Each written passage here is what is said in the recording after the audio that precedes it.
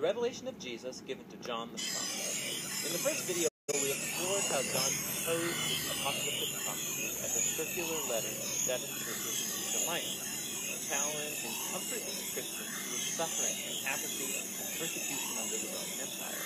We also encountered John's main symbol for Jesus, the slain lamb, who conquered his enemies by dying. He is the one who opens up the scroll in God's purpose to bring his kingdom on earth as in heaven. The scroll's opening drop warning judgments like the plague of Egypt, and like Pharaoh, the nations responded. And then John introduced the multi-ethnic army of the Lamb, and the open scroll revealed their strange. Follow the Lamb by bearing witness to God's justice and mercy before the people even the church.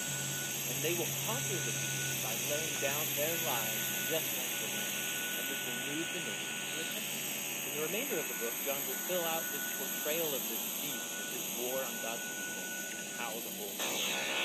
After the seventh trumpets, John stops the drumbeat of seven with a series of visions that he calls signs. The word literally means symbols, and each chapter is full of them.